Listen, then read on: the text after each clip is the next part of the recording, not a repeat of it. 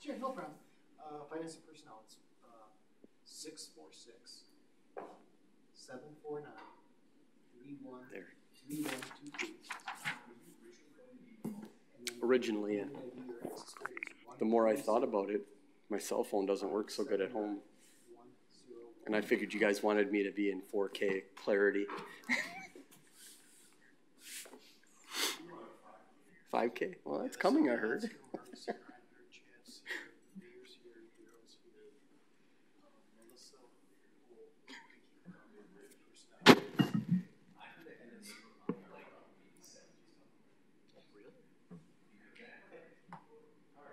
Which one? The one, my, my neighbor? He hasn't said that. I can. That's why. He has no reason.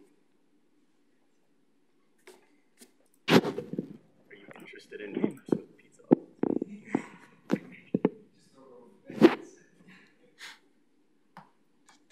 Could land in the pool.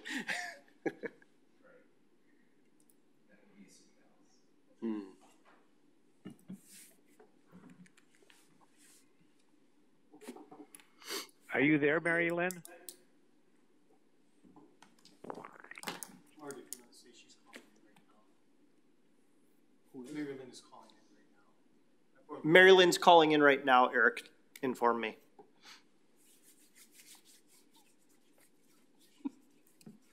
Hi, this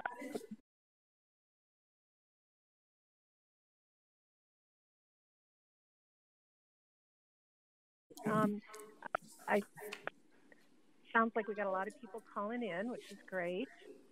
I am going to um, just do our roll call first. Um, would everyone who's on the phone please say hello? Oh. Marilyn, you might want to just call off. Do you have a list of who um, should be calling in? I don't. So I will just take a stab at it. Jim Boren. I hear. All right. And Todd, I understand you're in council chambers. Yes, I am. Uh, Marcus Savalio. How about Trey Mitchell? Hi there. Trey, is that you? It is. I'm here. Okay. And did I hear Marcus? No, Marcus. No, not yet. All right. Um, we have a quorum for our meeting. Um, why don't we um, identify the other folks, uh, other than Todd, who are in the council chambers? We're lining up. Uh, Daryl Hoffland, City Administrator. Chad Pelishek, Planning Director. Mayor Vandersteen. Trey, I Vicky didn't hear that. It was Mike Vandersteen. Mike? Okay, Vicki Schneider, okay, Melissa Ness, all right. Eric Bushman and Marty Halverson. All right. And I understand there are a couple of other IT folks in the room? Yes. Okay, great. All right. Um, with that, uh, why don't we get started? Um, if you'll join me in your own way, wherever you are, uh, in the Pledge of Allegiance. I pledge Pledge allegiance to the flag of the United States of America and to the republic for which it stands, one nation, under God, indivisible, with liberty and justice for all. Very good. Um, so, uh, just a couple of uh, ground rules that have worked uh, well so far. If you are not speaking, if you would put your microphone or your phone or whatever you have on mute, uh, that is helpful. Um, I'm going to continue on on speaker. Um, if that becomes difficult for folks, or if anyone else on a speaker phone has trouble, we'll probably need to change that out. Um, if you wish to be recognized, um, just give a shout out to me, uh, and I will recognize you. Um, you'll have to identify yourself, and then um, understand that there are uh, lapses in time. So we're going to. this will be particularly hard for me, but we're going to give everybody a chance just to for that little transfer of time before you start to speak, if that's okay with everyone. All right. Uh, let's practice on 2.1, which is approval of the minutes of our March 9th meeting. Do I have a motion, motion to approve? To is there a second? Second. All right, now we need to make sure you're, if you can, make sure your microphones are on mute unless you're speaking. Um, I heard Todd Wolf um, uh, move to approve the minutes. I didn't get who seconded that. Uh, that was Trey. Me. Great. All right. So it's, been moved, it's been moved and seconded to approve the minutes. All in favor, state aye. Aye. Aye. Aye. Any opposed? Chair votes aye. And again, we're getting some feedback, so please, uh, if you can make sure that your microphone is on mute if you're not speaking. All right, we are going to go into uh, 3.1, uh, which is a resolution to um, uh, from the Board of Water Commissioners to approve seeking approval of a taxable $3.1 million water revenue bond anticipation note to fund engineering costs ahead of the project construction. And that was uh, held from March 9th. Who wishes to speak on this to get started? Mary Lynn, I believe uh, this, this, this is Marty. From the water utility. Mary Lynn is. Our, say that, Joe? Joe, do you yeah, want to? Joe Trueblood from the water utility. And Joe, are you on the phone? I am, yes. Okay, very good. Um, Jerry, uh, we'll Jerry Vandekreek. Sorry, Jerry Vandekreek also from the water utilities on the line. Okay. All right. Anybody else from the water utility? All right, very good. Why don't you go ahead, Joe, and, and walk us through what you're looking for? Well, just briefly, we're at the introduction of a very large capital investment project. Uh, we're referring to it as a raw water improvements project, and it involves putting a new, very large intake pipeline about a mile out into Lake Michigan, and then some structure on the shoreline, pumping stations, and, and other equipment involved with that. Um, currently, all the water uh, in the city comes through one of two intake pipelines. One of those dates to 1909, and the other dates to 1959. And after a lot of review and planning and such, uh, we uh, are convinced that the time is now to begin the next era of intake pipelines for the utility to serve um, for another 100 years. These do have a very long lifetime so what's before the committee tonight and what the Board of Water Commissioners has seen as well, and uh, Carol Wirth is, is here also by phone to describe in more detail, is the initial uh, funding um, device for the project. Because it's a very large capital project, there are uh, very large engineering costs, and we're just beginning in preliminary engineering. So Ms. Wirth has uh, uh, aided us in identifying a short-term financing tool for the engineering costs, and, and that is the issue uh, before the committee tonight.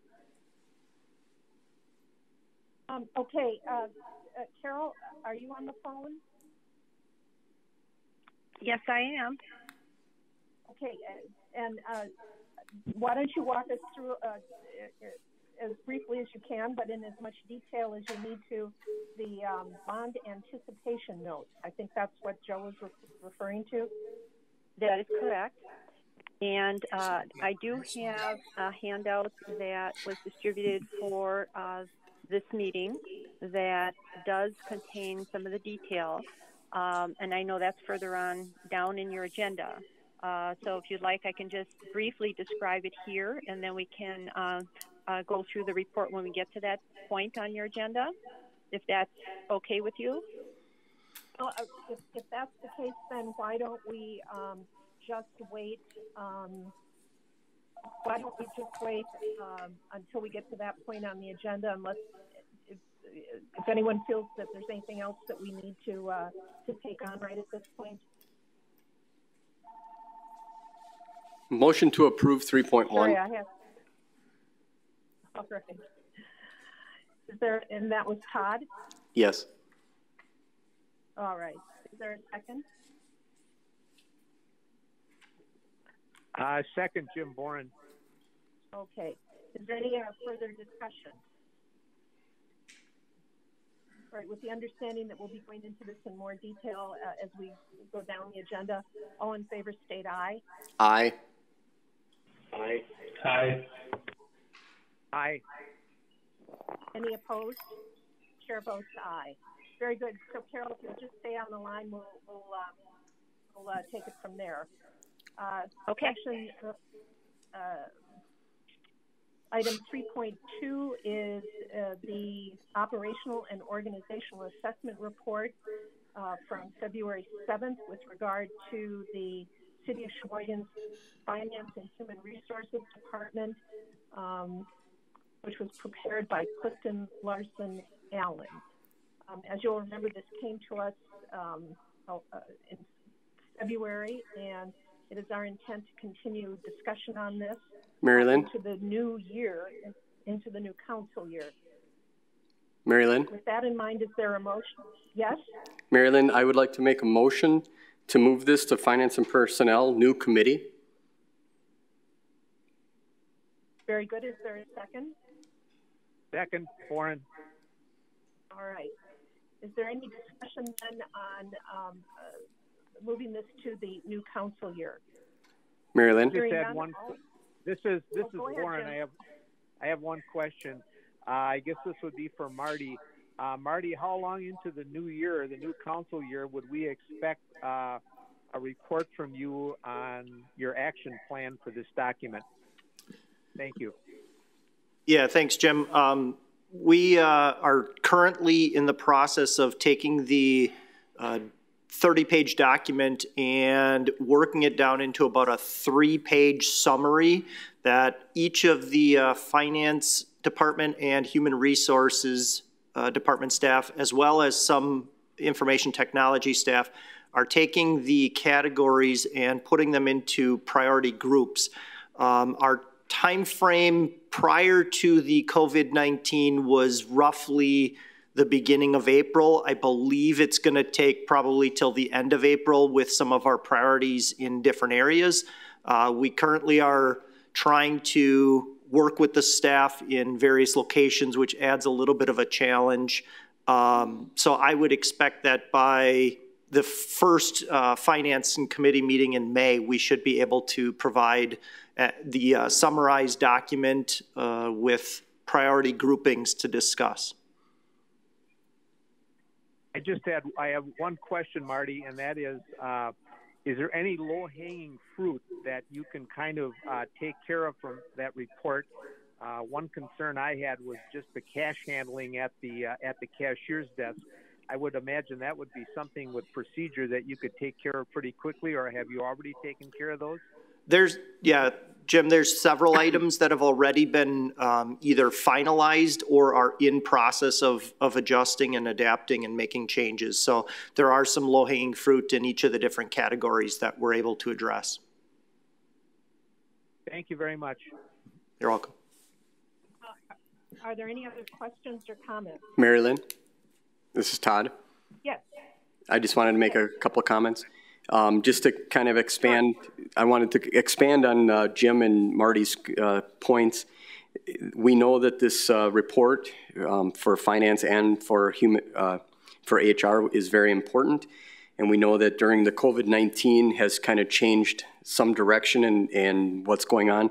We want to make sure that we take the report and we vet it very closely and, and concisely, working with the management and the and the teams and making sure that we, we develop a, a good plan for moving forward um, to make this a better, uh, a better environment and a better process. That's all. Thank you. Any other comments? Um, all I would, uh, just in, in terms of uh, Marty's plan, which I think is a sound one, um, we really need, uh, in addition to prioritizing and, and, and, and going through it carefully, I think we really need a really strong plan to address many of the concerns that were brought up. And so I think that is as well what, what uh, both finance and human resources are working on and what we hope to kind of get to uh, in early May. So uh, with that in mind uh, and no further discussion, all in favor of the motion, please state aye. Aye. Aye. Aye. Um, any opposed? Chair votes aye, and the motion passes. Thank you. 3.3 is the petition and notice of the tax liens uh, subject to tax foreclosure uh, for 2014, 15, and 16. Um, Chuck, are you in the room? Uh, Chuck's not with us. Um, I What? assume that this is um, Chuck was online. Docket here. I'm sorry? Chuck was online, unless we lost him. Oh, and I did, Yeah, he- okay. Oh, he was, he, he was. Okay, I Chuck, don't remember Chuck's not there. but it, I think this is probably, uh, if someone else has any information, um, this is a motion to, uh, uh, to accept and file. Daryl, do you, uh, or Marty have any other ideas about what we should be doing with this?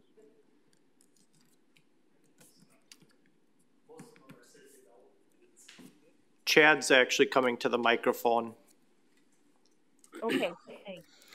So this is Chad Pelishek, and a lot of these, we were served this document, a lot of these are um, city development loans that we have on properties that we've used uh, money, federal money to enhance people's uh, selected properties.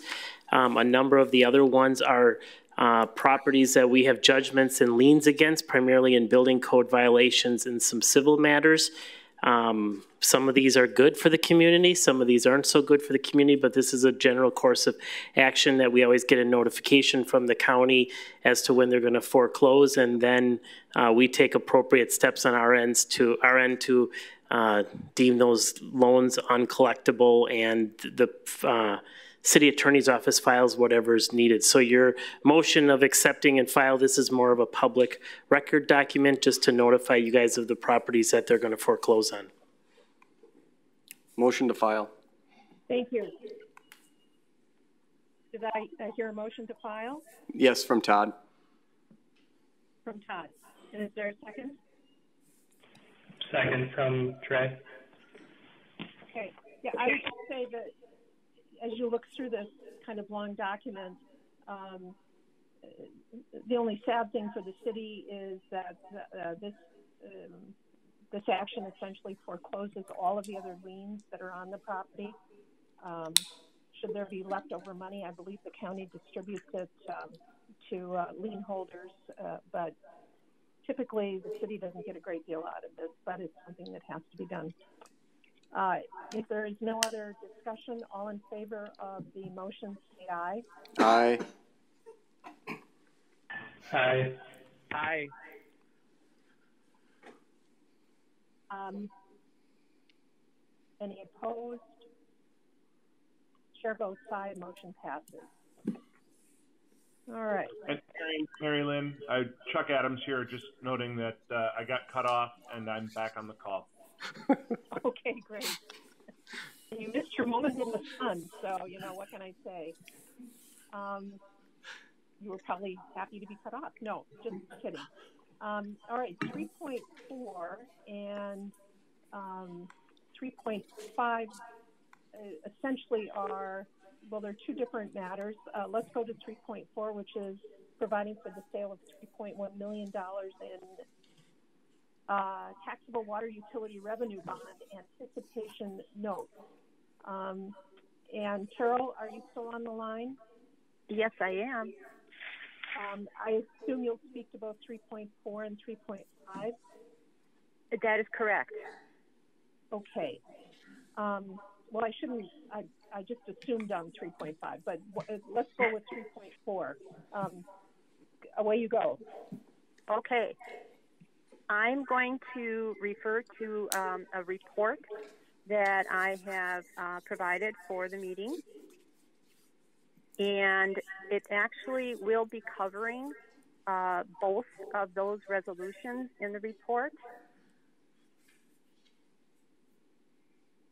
And they are prepared in a very similar format. This is the process of starting to uh, uh, borrow money for 2020.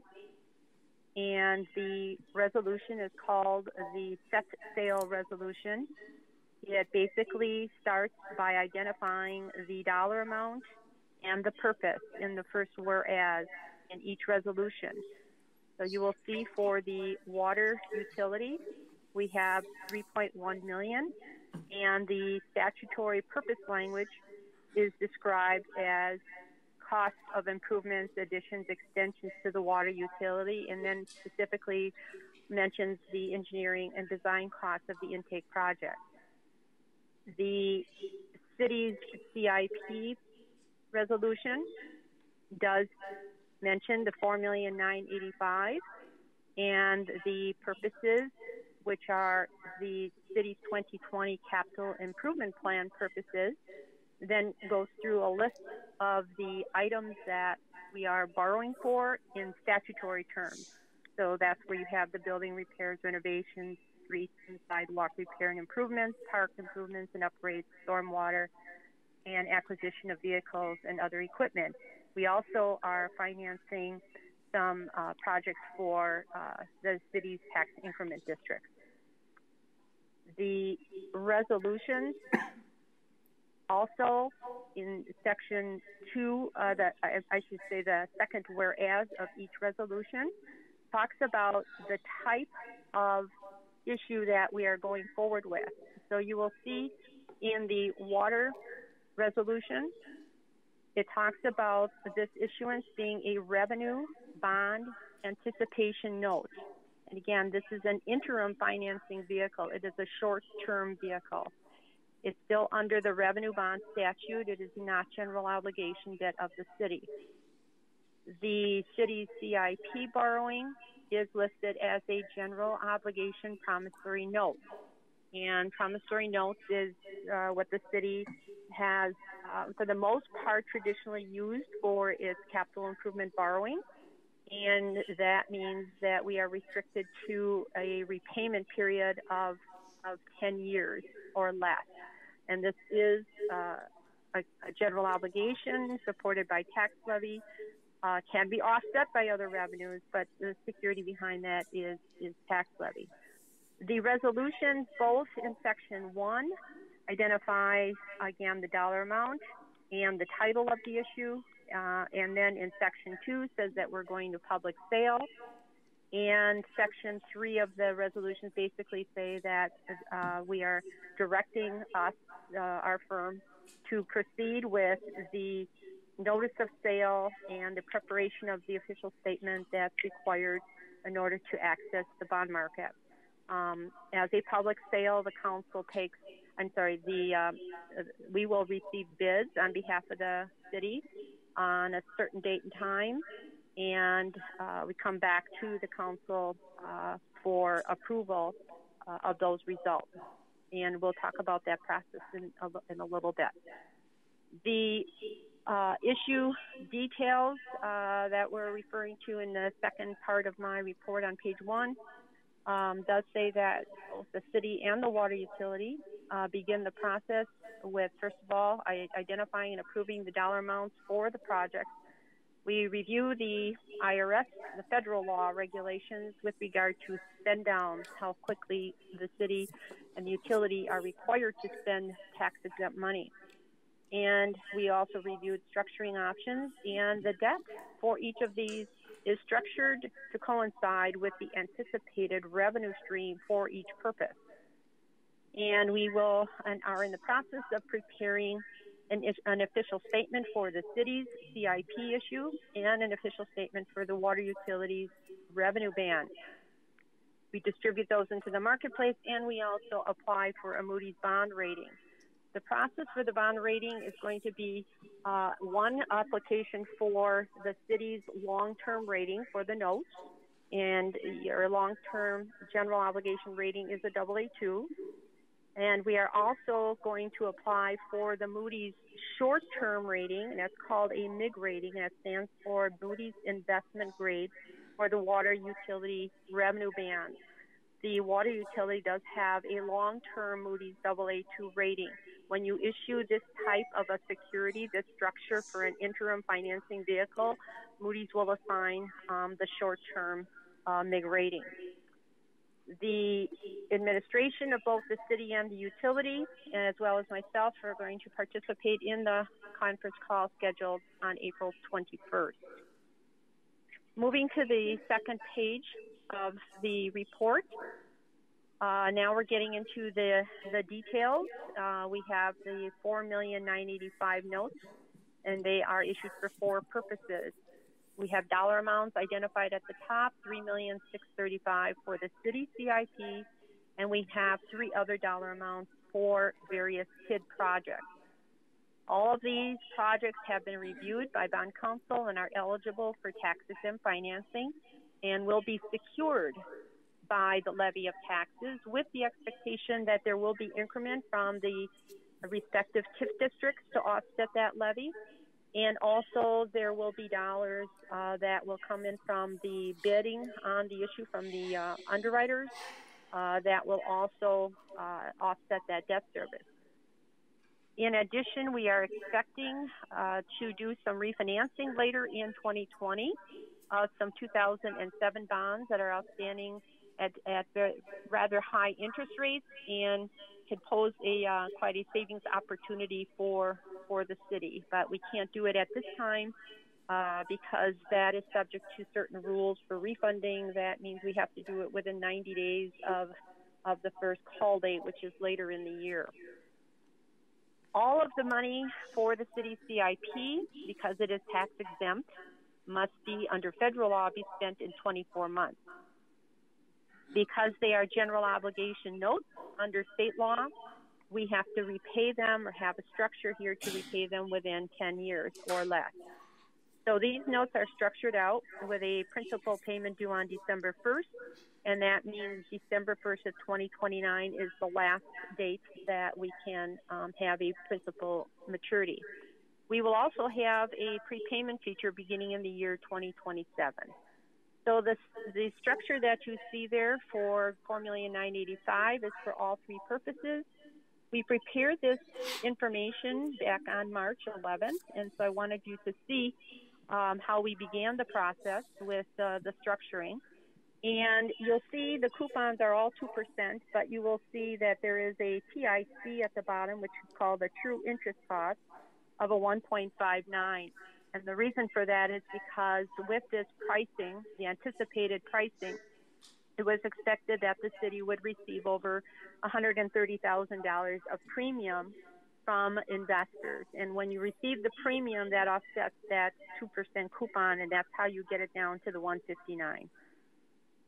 So there, you'll see then the uh, interest generated. You'll see the total. At the bottom is the pricing schedule. What is significant about this pricing schedule is to track the market. You track the yield column. You'll see there that the yield for the first maturity is a 0.90, and it gradually walks up to the 2029 year of a 1.45 with all the coupons at 2% means that these are all purchased as premium bonds, which is very standard for a bank qualified tax exempt issue. That difference between those two columns is a generating premium, and that is reflected in the dollar price column to the far right side of the page.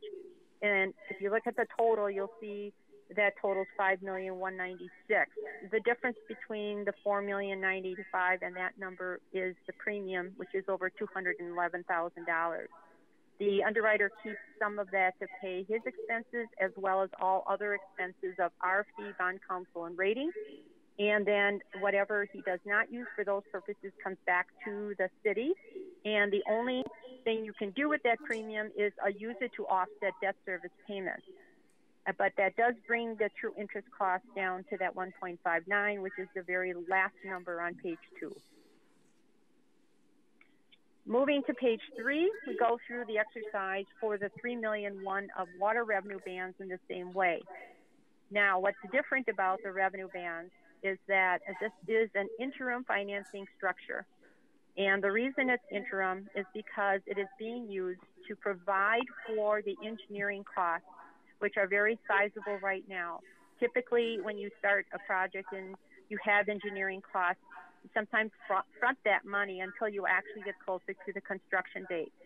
With this $3 million, of course, that would create quite a um, impact on the utilities cash flow. So what we're doing is creating an interim financing vehicle until the time that the construction of the project is anticipated to begin, which matching the timetable for the anticipated vehicle to use for the long-term revenue bonds. And right now, the, the utility is preparing a application for a state of Wisconsin safe drinking water loan program that would provide 30-year um, financing for the project. The loan program right now provides 20-year loans. However, the loan program is also in the process of of applying or, or filling out whatever documentation is necessary in order to um, be allowed to have 30-year loans for the safe drinking water program. And that is not anticipated to be a problem, but if we're just in the process of that um, taking place right now. Now, worst case scenario, if that program is not available, the utilities uh, high quality bond rating does allow it to have access to the municipal bond market. Either way, they would become revenue bonds. And either way, in, in including this ban, they are obligations of the water utility paid from the water utility revenues generated through the rates that are, are uh, applied for and approved through the uh, Public Service Commission. There's no tax levy support pledged to their payment. Uh, these bond anticipation notes, even though we have them coming due all at one time. All the principal is scheduled to come due on May 1st of 2024. Although we put a prepayment feature beginning on November 1st of 2021. We do that in, to, to maintain the flexibility for the utility to convert the principal payment to long-term financing through the safe drinking water loan program when that program is available to do so and to take advantage of any, any principal forgiveness or interest subsidy available through that program. Uh, if for some reason the program is taking a little bit longer to uh, to, to complete its uh, process of 30-year funding, uh, that's not a problem. That's the reason we put it out to the year 2024 to give flexibility with the beginning of the construction of the project, which is right now anticipated for June of 2022, um, or, as I said, uh, access to the availability of funding through the loan program. So that's uh, the reason why this is a little bit different. Uh, it's an interim step, uh, but it provides a great deal of flexibility uh, to the utility to respond to uh, providing funding while it is needed in order to cash flow the engineering costs, but it is also designed to accommodate a timetable for um, the Safe Drinking Water Loan Program. Uh, that program would uh, be able to refinance the principal amount on these on these revenue BANs, uh, but in the meantime, the interest payments would definitely be coming from the revenues of the uh, water utility. Uh, the pricing summary is the interest rate and the yield are both one and a half percent on, on at this time. Now, these are structured as taxable. They're not tax exempt like the city's CIP notes. And the reason for that is because of some of the unknowns with regard to the expenditure of the uh, costs related uh, for this engineering cost. If we did a tax exempt, the utility would definitely have to commit to spending that within the 24 months. If we do it as taxable, uh, there is no requirement as to how long you have to spend the funds. So, uh, as we had discussed this with the commissioners, um, we felt that the commissioners uh, needed the uh, flexibility of uh, the expenditure period, and uh, so we structured this as a taxable. And as a taxable, it is very common for the coupon and the yield to be the same, and they are actually bid at a discount. So it's a little bit different than uh, what you would experience with a tax exempt structure. So they would simply discount the issue for the amount of their expenses, uh, which brings the true interest cost to the 1.63. Although built into this dollar amount, it is expected that any other expenses associated with the issuance would be uh, taken out of that 3.1 million. Okay. Um, any questions up to this point? Does anyone have questions for Carol? No, great job.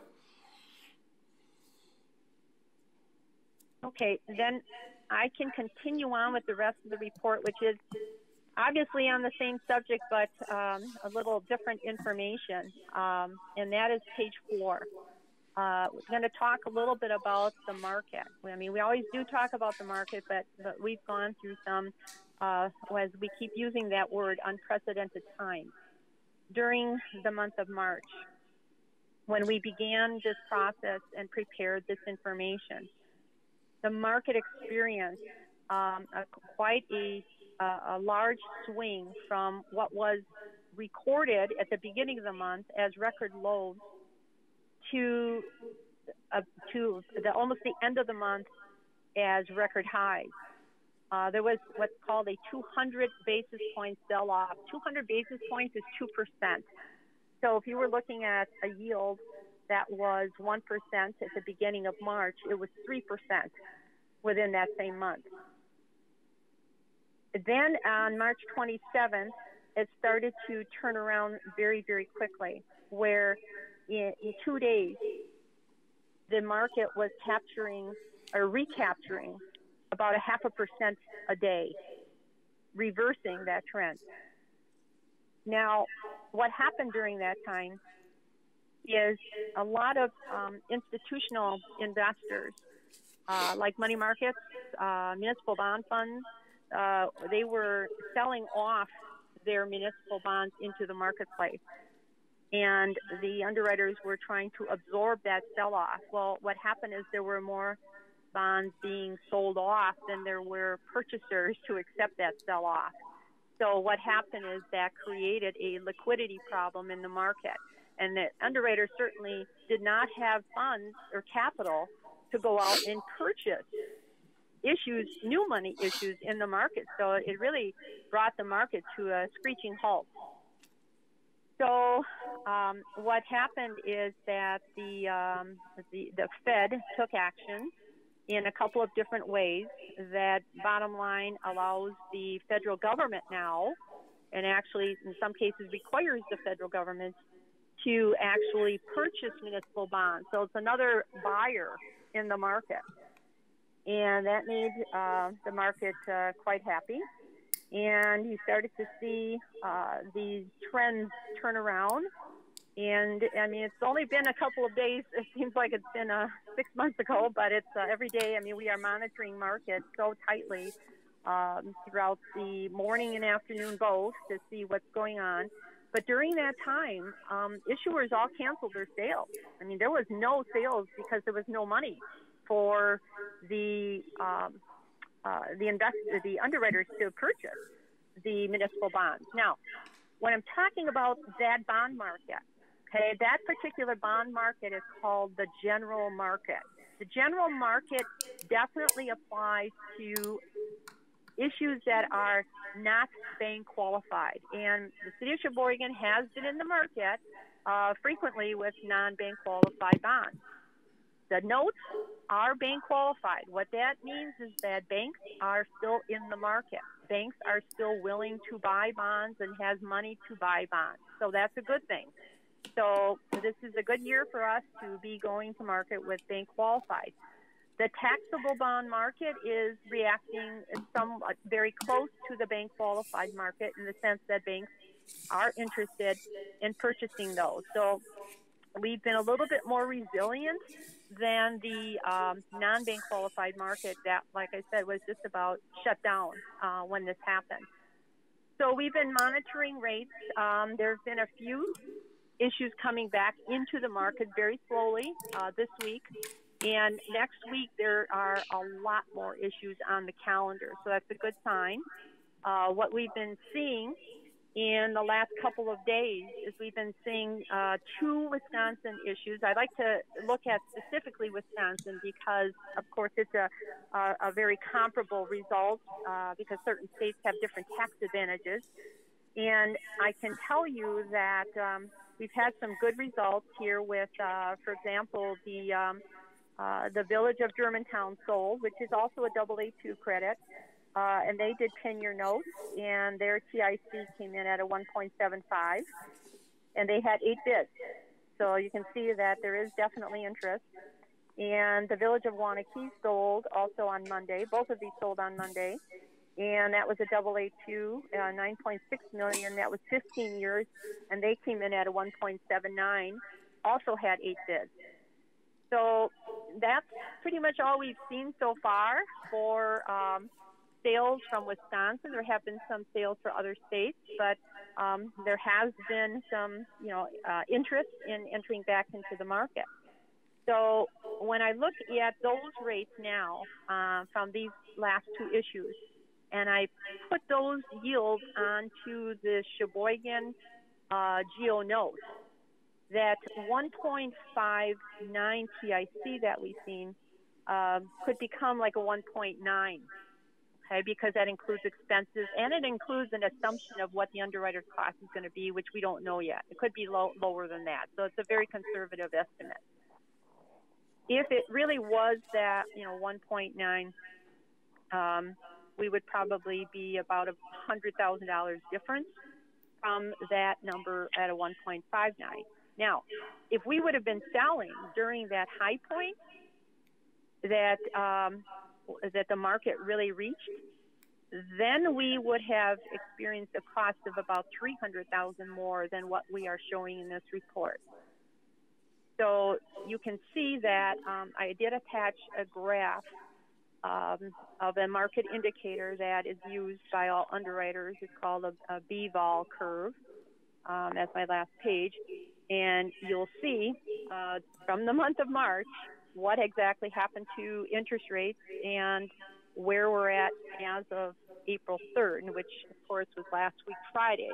Now, since that time, every day has been coming in at anywhere from 10 to 15 basis points lower since Friday. So I know it's only a short-lived um, uh, trend, but uh, but at least we are seeing it going in, in the right direction for now. So, with regard to the water revenue BANs, the high point, we would have been looking at about a two and a quarter percent. Uh, right now, again, there are not a ton of taxables to look at. I've looked at some from other states. It would look like we're somewhere between a 1.8 and a 2% interest rate as of right now. Okay, so so that's the impact of markets and um, and what we're seeing and what the trend is.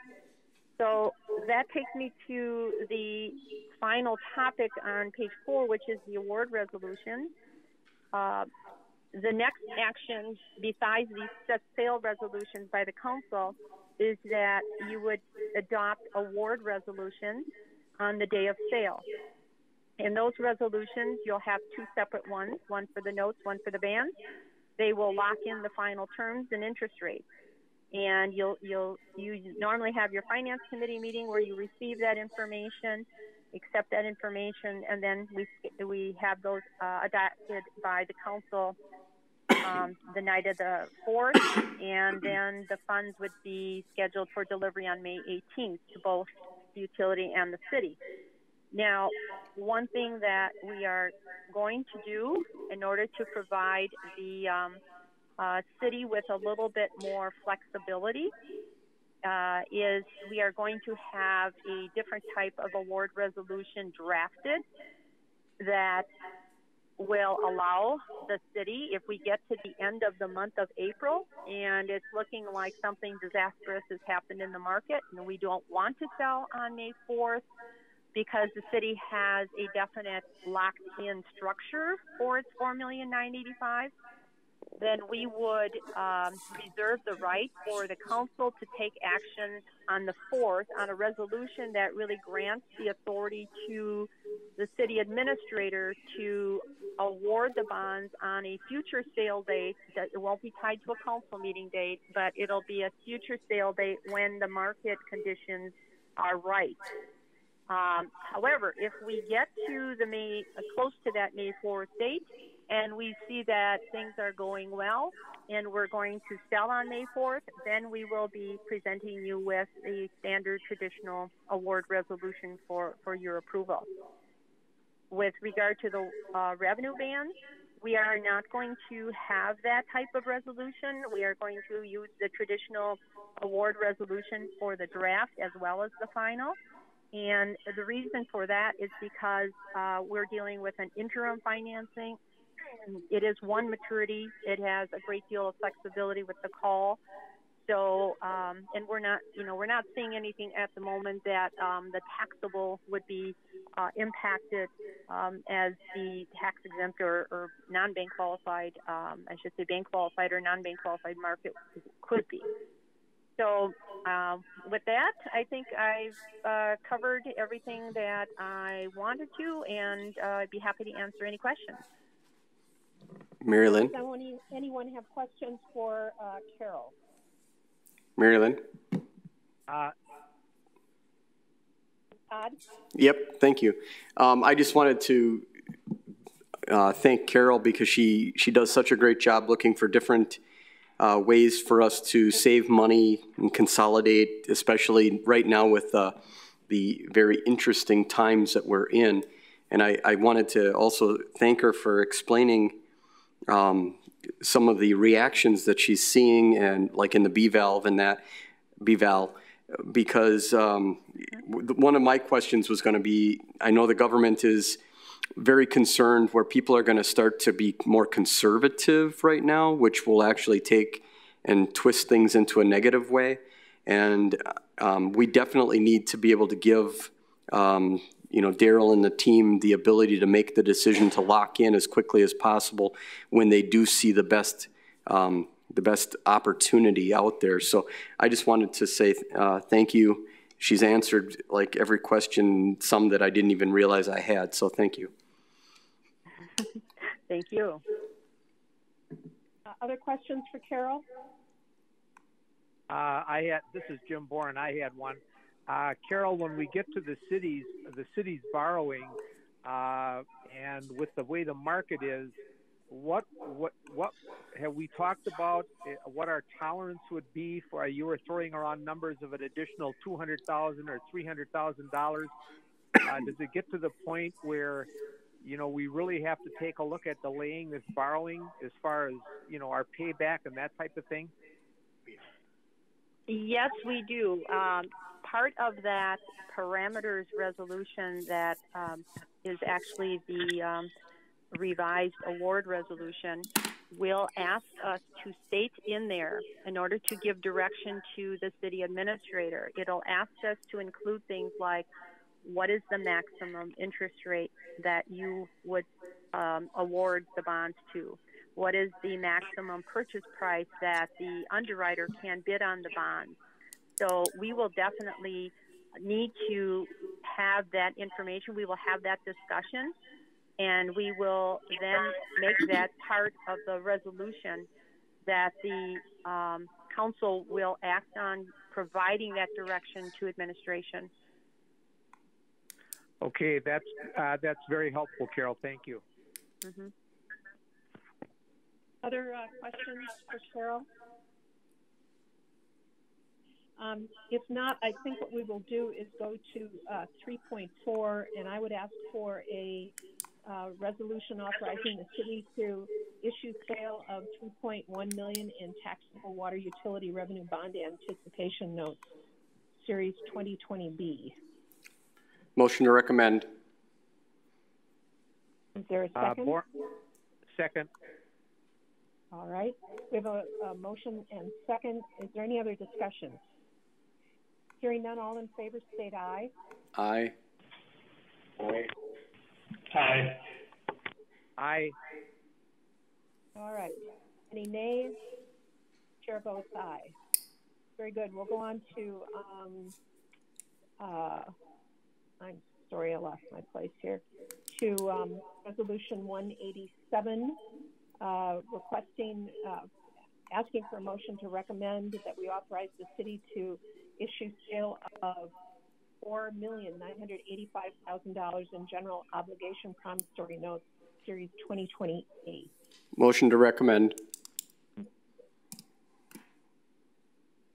Uh, Is there second. All right, second from Trey. Um, is there any other discussion? Hearing none, all in favor, please state aye. Aye. Aye. Opposed? Aye. Sorry, I didn't give you enough time to get in there. Um, uh, are there uh, any uh, uh, any votes against? Sorry. Hearing none, uh, on chair votes aye. Hearing none, um, the resolution is passed. And I think, am I correct? Does this do it for Carol, or do we need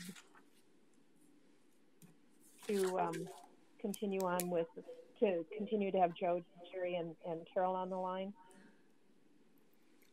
I believe she's done. That's all that's on the agendas. If you okay, if you folks want to ring off, fine. If you want to stay, that's perfectly fine as well. Thanks, Thank Carol. all Thank you, for, Jer- um, Okay, uh, thank you. all. All right. Okay, Thank you. Thank you. all right, thank you much. Bye Bye-bye. Take care. Um, we will move on to 3.6, which is a resolution terminating uh, the city's uh, TID number 11, authorizing the finance director to distribute excess increment to overlying taxing districts. Marty, do you want to Mary. Mary Lynn, this is Chad Pelishek. Or Chad, very good. So the uh, TIF district we're talking about today is TID 11, which encompasses primarily the area around the Washington Square uh, Mall where the Piggly Wiggly is on the south side of Sheboygan. Um, that district, I think, was created back in 1998 as a redevelopment of an old conical fill site that was a contaminated property. Um, we've expended, uh, paid all our debt down on that district, and it's ready to be closed. So, under state statute, we the council has to accept a resolution to uh, terminate the TIF district, and then pay out um, the funds that are left in the fund balance to the taxing jurisdiction. So I've gotten a couple calls from a few of you over what the numbers look like. So there's a roughly a fund balance of about 2.6 million in this fund. Um, the city's portion of the tax bill is about 38%, so we should see around 980,000. The school districts is about 36%, so they should get around 936,000. Uh, Sheboygan County is about 22% of the tax bill, so they should get around 572, 572,000. And then Lakeshore Technical College is about 3%. Um, they would get about 80,000 and then there's some remainder 1% that goes to the state. So that would be how the payout would roughly look. Uh, the city's in for around 980,000 payout of this district and Um, those numbers will be finalized once CLA completes the audit on the district and then authorizes Marty to release the checks and close the district. The timeliness of this is the uh, document needs to be approved by April 15th in order to comply with state uh, Department of Revenue regulations. So if there's any other questions, I'd be happy to answer them. Questions for Chad? Mary Lynn? Um, yes. Uh, I just would like to ask Chad, so Chad, the, these funds that come in, where can we put them or do they just go to the general fund? Well, we're moving into a budget deficit, so maybe this will fill a year or two of that for the 500,000 that's missing from the power plant, so.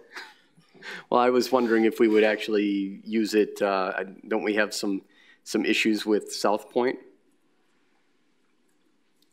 Being a, a I mean, we, deficit? yeah, I, I, I Help don't us. know, I mean, that's gonna be, have to be discussed where that money ultimately goes and what we use it for, but we don't have to necessarily use it for another, it's not subject to being used in another TIF district. Okay, thank you. It can be used for general obligation or operational, Don't tell Daryl. he's already calculated it. Dang it. Motion to Well, recommend. Sounds like uh, good news. Um, So, and I think I heard a motion to recommend uh, the termination of the district and uh, distribution of the excess increment. That, was that you, Todd? Yes, it was. Okay. I'll second it. second? All right, and seconded by Jim. Uh, Any other questions or discussions? Hearing none, all in favor state aye. Aye. Aye. Aye. Uh, Any opposed? Chair votes aye. Very good, thank you. Um, 3.7 is a resolution establishing an early retirement incentive program and authorizing the city administrator and acting director of human resources to offer benefits to qualifying city employees. Who'd like to take this for us? This is Marty. I will uh, take, take this uh, topic. Um, So the uh, policy that is in place uh, for this uh, agenda item is a result of the Clifton Larson Allen assessment and some of the early uh, identified areas of that assessment uh, coincide with finding the uh, appropriate staffing levels, staffing individuals, uh, both on engagement, skill set, and as a result, uh, discussions uh, took place, certainly with staff in, in giving the early uh, feedback from this assessment. And at times, sometimes a individual is not necessarily in exact alignment with what the assessment reveals. And a policy was established to um, offer a early in uh, early retirement incentive that would be um, only uh, for the non-exempt employees within the finance and HR department at this time. Uh, as a result, it affects really only two individuals as eligible, and um, at this point, that's uh, where we're at as far as the policy being the first step. Um, certainly, I can answer questions, but uh, not looking to get into specific names at this point. Any questions for Marty? Uh, this is Jim. I have just a general question with not getting into any any specific people, uh, and and this might be uh, something our our interim HR director could get involved in. Uh, with the with the current situation with unemployment, uh, the maximum benefit I understand for this for for Wisconsin is three three hundred is three hundred and seventy dollars a week. And uh, with this latest thing that the federal government has passed, that's an additional six hundred dollars. So theoretically, a person that's collecting unemployment could get nine hundred and seventy dollars a week. My question is, I don't know how long uh, unemployment lasts in Wisconsin. I haven't had any recent experience with it. Uh, and then the federal program, I believe, was going to go out two or three months. I guess my question would be, would it be a better deal for these employees to consider going on unemployment and collecting the state amount along with the with the uh, federal amount and come out better than anything we would offer them on the way out the door.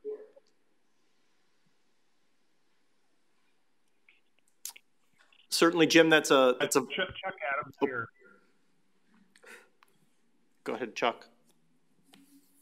Okay. Um, so, uh, it, uh, so the unemployment wouldn't work exactly that way. Uh, the the issue would be is that typically in, in unemployment you you you know you're releasing someone uh, and uh, you know either either for cause or uh, because you don't have uh, the work for them. This program really deals with a, uh, a different circumstance. There's not necessarily, uh, you know, some sort of disciplinary cause to, to release somebody, and and it's not necessarily that we don't have work for them. Rather, it's it's really in response to the CLA program. So uh, realistically, uh, I'm not. I, I, don't believe that unemployment would be an option un, under this uh, particular situation. Are you talking about the federal or the state or both? A combination of, of either one. Okay, thank you. And then I guess also, Chuck, uh, as long as you're there, uh, if if we uh, if we just summarily uh, let somebody go and they decided to sue us, uh, what kind of uh, what kind of dollars would we be looking at? And then potentially, if the uh, the ex-employee was successful, would that include us paying their legal fees also? Well, if you summarily let someone go, um, you know, obviously it depends on the individual circumstance, and you know, we're not uh, this program isn't really designed, um, you know, it, it's not aimed at one employee or anything of the sort, e- even though there's uh, likely a limited number of people who would likely choose to take this. Um, so it, it's going to really depend on the individual circumstances. What I can say is that um, a, if you summarily uh, terminate someone and you don't have the proper basis for doing it, and you've done it for improper reasons, yeah, potentially you can have, um, you know, significant costs, uh, including paying, uh, you know, what paying salaries that would have expected to have been paid, uh, including paying the costs that the uh, employee would incur in uh, in filing that lawsuit. Uh, and then one more thing, Chuck, and that is as uh, I would presume that these people, these people that we would offer this to, would be at-will employees. Uh, what? How does this fit in with an at-will employee being? My understanding of an at-will employee, they're serving at at our at our pleasure, and if we decide to let them go, uh, they're an at-will employee. They don't have as much recourse as as uh, as an, exempt an exempt employee. Would that be true? So an at-will employee doesn't mean no recourse. It just means that the nature of the recourse is is very specific. Uh, in in this case, um, you know what we're we're trying to do is uh, recognize the fact that we have valuable employees that that have done uh, service over the years. Uh, that uh, things do sometimes change. Uh, the CLA report reflects some things that need to change and we're trying to find uh, a good way to sort of uh, align the fact that we have valuable employees who provided good service in the past uh, with the fact that there have been some changes and there's probably a need uh, to uh, align the departments in a somewhat different way. That's, that's very different than a circumstance where we just simply have decided that uh, an, an employee is, you know, you know, not someone that we want to have with us anymore at all, and uh, you know you terminate them. This, this, this is not. This is a little bit of a different circumstance than, than that. Uh, thank you. Are there uh, any other questions for Chuck? Uh, I'm just gonna. I just want to make a comment on this. Uh, initially, I wasn't going to support this, but uh, after uh, thinking about it and you know knowing what what the payout potentially would be for an employee and the and possibly the legal repercussions, it may be uh, it may be advantageous for the city to offer this in lieu of maybe a lot more expense. So on that in that regard, I'm going to vote for it, but uh, I, I I don't I still don't like the concept of having to uh, pay out large sums of money. And I just hope that this doesn't uh, set a precedent for future employees that uh, may be considering retiring and may not be the best employees uh, and are going to demand the same thing. So that's that's a danger that I see. But I will support it because I think in the long run it's probably be more cost effective for the city. Thanks. Mary Lynn, motion to recommend. Any other questions? All right, we have a motion to, if, if you have your microphone on, if you could mute it, that would be helpful. Um, we have a motion to recommend uh, that uh, we establish an early retirement incentive program. Uh, is there a second? Uh, second, Mitchell. All right. We have a motion and a second. Is there any further discussion? I just want to uh, give my thanks to Chuck for your uh, excellent answers, much appreciated. Um, with that in mind, if there are no other uh, comments, uh, all those in favor, uh, please state aye. Aye. Aye. Aye. Any opposed? Chair votes aye. The motion is passed. Um, we're going to go on to 3.8, which is a claim from Ryan LLC. Um, I'm trying to see what kind of action we want on this. This would be, uh, yeah, this, this is a claim. We're just asking for filing. Uh, this is a this particular one. Uh, we uh, we did already uh, pay the, the claim. All right, if we could have a motion to accept and file. Motion to recommend and file.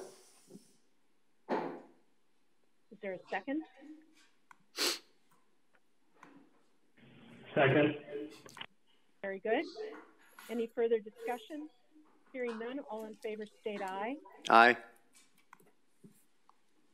Aye. Aye. All right. Any nays? Chair votes aye. Motion uh, passes.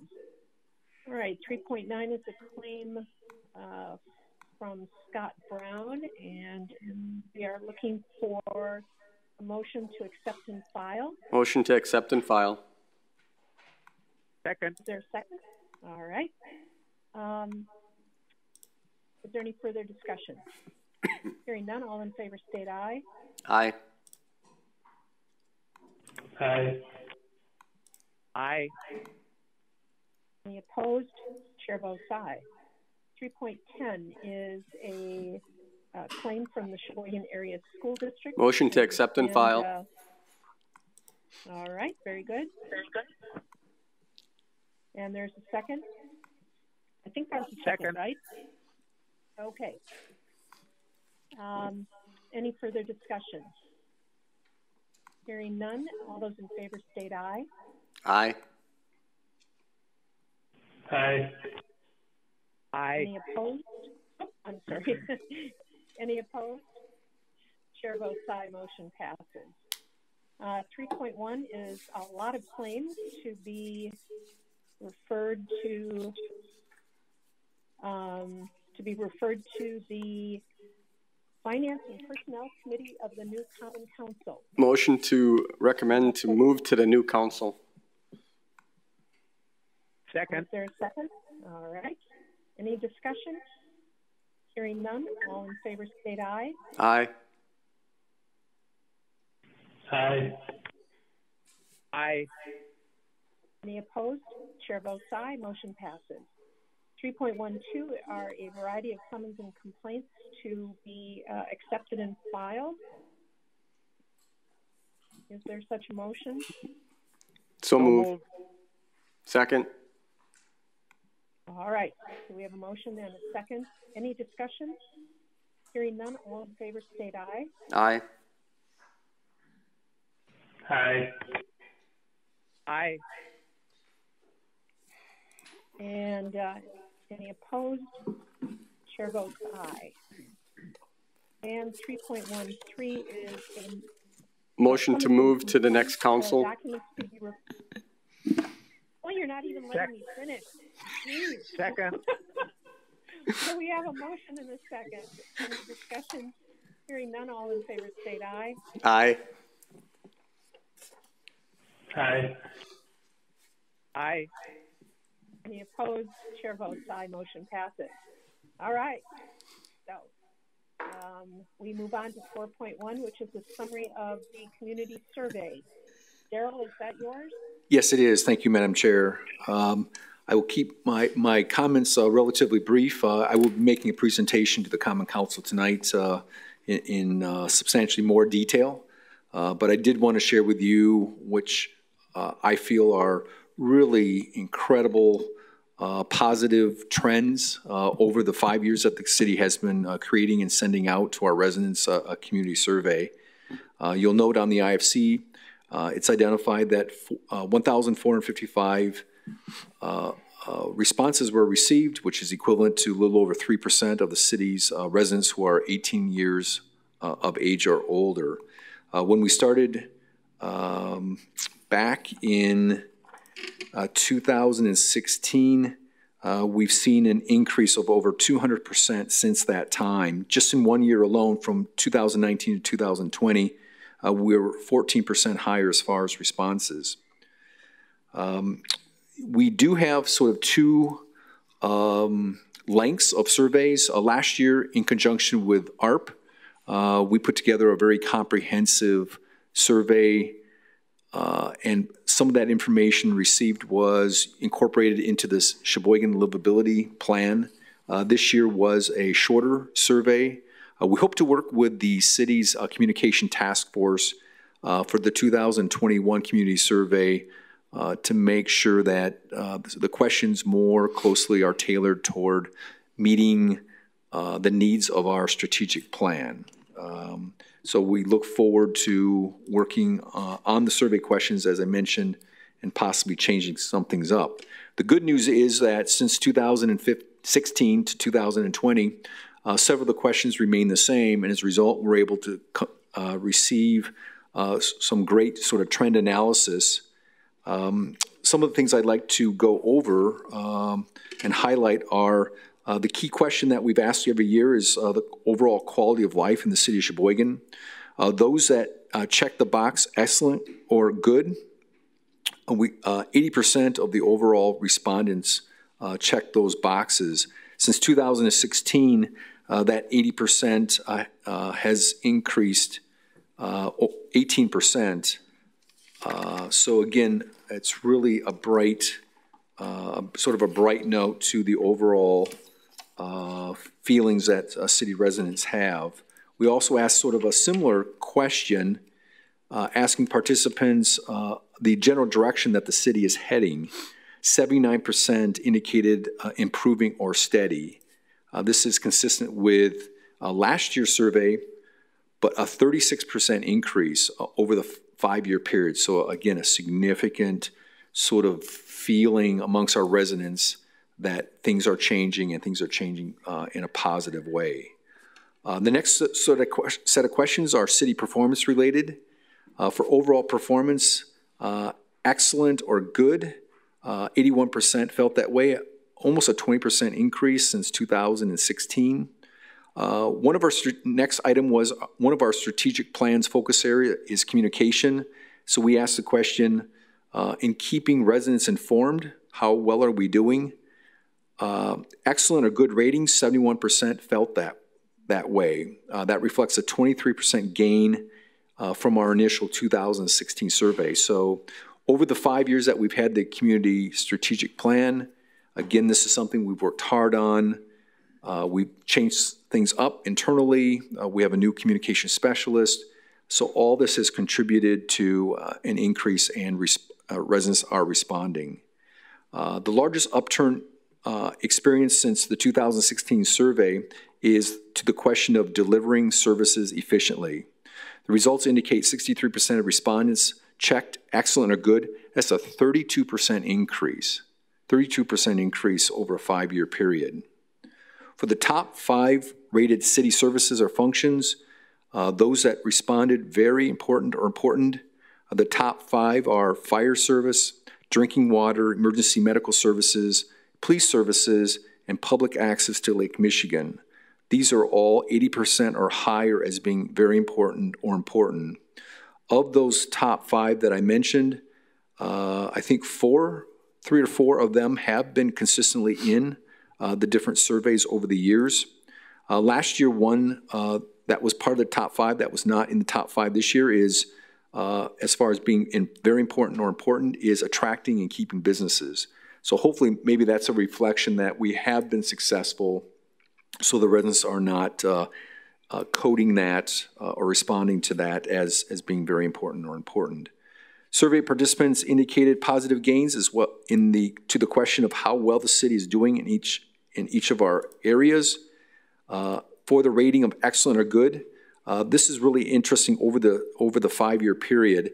Uh, zoning and land use actually had the largest increase in improvement 37% increase in those checking excellent or good. Support for neighborhoods, uh, six, uh, 37% increase. Street, tr street tree maintenance, a 36% rise in checking excellent or good. Public transit services, 23% increase. And overall city administration, a 22% uh, increase. Um, in 2019, uh, the areas that received the highest excellent or good were EMS, um, fire, police, uh, and leaf pickup. For excellent and good rated city departments, the top five were Fire Department, Mead Public Library, Police Department, City Clerk's Office, and the Senior Activity Center were tied for fourth and fifth place. Um, the Fire Department continues to just excel in their positive response uh, by residents. Last year, it was also in the top five uh, with 93%. So again, being number one in 2019 at 93%, uh, being excellent or good, but they even exceeded uh, sort of expectations in that they're now at 97%. So that's an incredible uh, support that this department has throughout the community. Over the past five years, those departments that received an excellent or good um, uh, increase uh, the largest increase as far as over that six-year period of time was actually the city administrator's office. The next was common council, finance department, shoreline metro, the mayor's office, municipal court, planning and development, uh, property assessing, city attorney, and building inspection. All those I mentioned had at least an 8% or more increase. The top end of the range was as high as a 35% increase in a rating of excellent or good compared to when we started these surveys back in 2016. I mentioned earlier about top communication or, or communication being important. So we also asked the residents, where do you receive uh, information or where do you search for information about the city of Sheboygan? Uh, the city's website uh, was number one. Sheboygan Press was number two. Uh, Sheboygan Sun uh, was number three. WHBL was four and Nextdoor was number five. Uh, this is the first time that Nextdoor has appeared as one of the top five sources of revenue or, or information about the city's operations. Uh, last year, um, next, uh, as I mentioned, Nextdoor, this is the first year it's appeared on our top five list. Last year, the fifth uh, spot was held by the city's Facebook account. Uh, for four most critical uh, projects or potential new initiatives, we asked an open-ended question, and the top four subject matters, uh, no surprise, the num number one was street or street repair-related questions or comments. Affordable housing uh, related comments was number two, most frequently uh, identified. Neighborhood revitalization, and the last was uh, business development, uh, including comments about downtown, the mix of businesses in our community. Um, we actually had a few Olive Garden uh, comments that were mentioned, which is always humorous for all of us. Um, Chad Pelishek says it's something that they teach as part of the curriculum at this public school district. Uh, all in all, uh, the typical uh, resident uh, checked the box that they were between the age of 56 and 65. Uh, as far as uh, race, uh, 97% white uh, as far as participants in the survey. And uh, for the category of how long have you resided within the city of Sheboygan, 50% or more uh, checked the box that they had been residents for 25 years or more. As I mentioned, I'm going- going into a slightly more detail at the Common Council meeting tonight. Uh, Is there any questions of me uh, at the Finance and Personnel Committee level? Great job. Um, and I think we'll hold questions, uh, Darrell, until the council meeting, give people a little bit of time to uh, stretch their legs before uh, the meeting starts, uh, which will be soon. Um, unless there's a burning question. Good. Mo- nice to have this information. Motion to adjourn. Meeting will be determined. And I would ask for a motion to adjourn sine die. Motion to adjourn. Sine die. All right. Is there a second? Second. I take. All right. All in favor? Aye. Aye. Aye. Aye, aye. All right, we are adjourned. Thank you all. Appreciate it.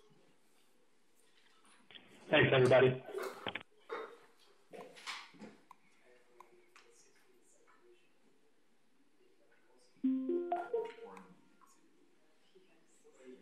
Hmm? Is Domagolsky going to show up? I, I don't need to sit here. I can sit where you're sitting.